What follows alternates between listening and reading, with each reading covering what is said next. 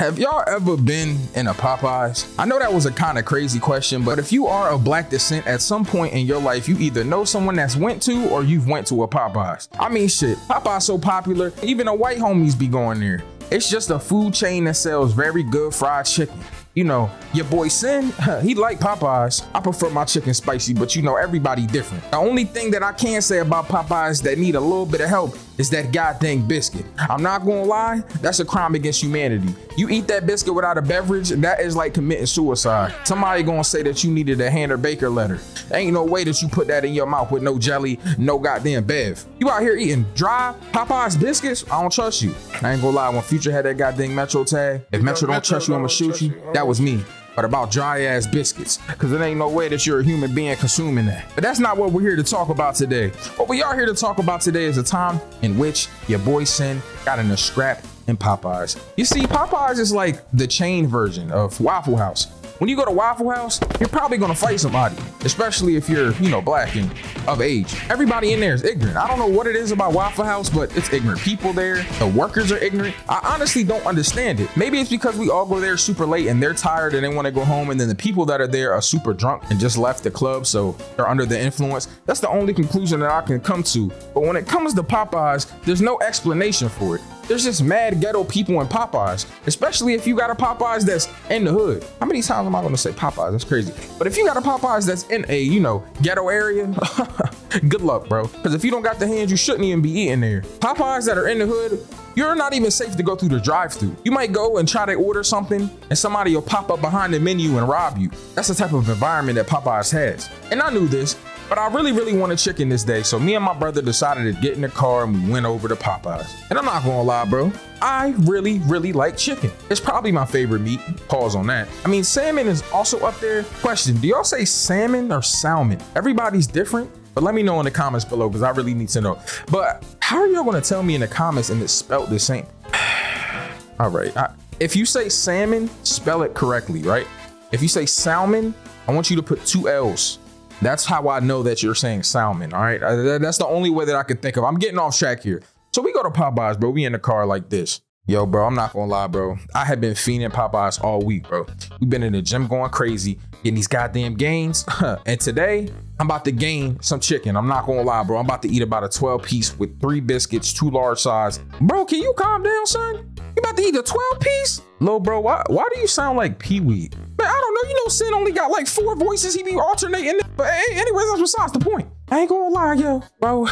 Your boy Vor, he needs some more of that Popeyes. You feel me? Because my stomach gonna eat right now. Nah, that's a fact, bro. I ain't gonna lie. We ain't ate all day. It's like, damn, it's like 6 p.m., bro. I mean, we did wake up at 4 p.m., so it ain't like we've been awake that long, but that's kind of tragic. We get up at 4 p.m. The first meal of the day is Popeyes, bro. That's some fat ass shit. I ain't gonna lie. So we pull up the Popeyes, bro, and my brother's like, yo, Sin, let's just go in, yo. The line mad long. Like, we might as well just go in. It'll probably be faster. Bro, I don't even think it's gonna be faster though. I mean, if we go in there, they still gotta cater to the people on the line. And then on top of that, the food might get done like a lot less fast because they're using a lot for the people on the line, bro. Like, man, fuck that shit, man. I do this all the time, bro. Let's just go in. Bro, you don't even have a license. What do you mean you do? So we go into this Popeyes, bro, and it's like, you know, typical shit. I walk in, the floor is dirty, it's crumbs on the tables. It's just a nasty Popeyes, bro, but the food's good, so I'm gonna eat it. I ain't gonna lie, bro. This one time I saw this woman, she brought her Popeyes back and it had roaches in it. And she told them that there were roaches in it when she left. And I'm just like, bro, what? Ain't no way that they gave you Popeyes and that shit had that many roaches in it. If it had maybe one bug, I could have bought that. But this shit was infested. Those came from your house. I'm not gonna lie. I looked in that Popeyes box and those roaches had house slippers on, bro. They definitely was at your crib. But I mean, that's besides the point. She turned the Popeyes in, and that's when I knew, like, oh yeah, we got the hood spot. This is the hood Popeyes. So we standing in the line. I tell my brother I'm about to go to the bathroom real quick. Now I go handle my business, and in the midst of me handling my business in the bathroom, I hear some like talking outside. I hear my brother voice, and I'm like, hold on, who the fuck talking to my brother? So I leave. I come back out. My brother's talking to this dude. I approach. I'm like, hold on, what's going on? Yo, yo, what's good? Everything cool? Man, this dude cut in front of me, bro. Talking about, yo, you left the line, so like he, he getting in line in front of me. Like, you ain't telling me you was holding the line? I did, man. He was just like, fuck it, and just got in front of me and then placed his order anyway. Oh, so this motherfucker. Man, hold on, bro. Hey, hey, yo, hey, yo. That was good. Man, you cut in front of my brother, bro? I mean, you got out of line, so I I got in your spot. Bro, you ain't see my brother standing here holding my spot, bro. I just told him I was using the bathroom, and I'm pretty sure you was behind us, so you probably heard me. Hey yo, hey yo, stop, yo, stop fucking playing with me, bro. Why you you being disrespectful? At this point, I'm tight. Not because he cut in front of me, y'all. I'm not that petty, but he was talking heavy to my brother. I don't like anybody talking to my brother. First off, if we out in public, my brother a grown man. I still don't want nobody talking to him. You gotta deal with me, bitch ass nigga. Don't talk to my brother.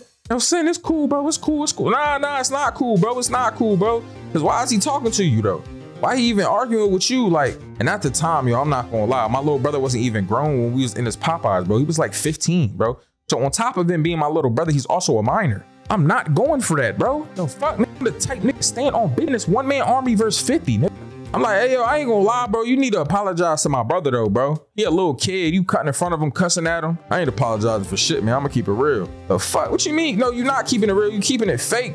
You fucking, yo, I ain't gonna lie. Yo, say sorry to my brother, dog. Real shit. Say, say sorry to my brother. Man, I, I ain't saying nothing. All right, so we got a problem then. At this point, bro, I had a straight nick moment. I'm not gonna lie. I lost my damn mind, bro. First thing I did, I threw my hands up. I walk outside. I'm like, so, so come outside then. So come outside then. I'm trying to coerce this nigga to come outside and shit. I'm not gonna lie. I know I'm about to whoop this dude ass, bro. One, I'm tight. You don't got me out of character. Now I'm in here yelling at you in a Popeyes, bro.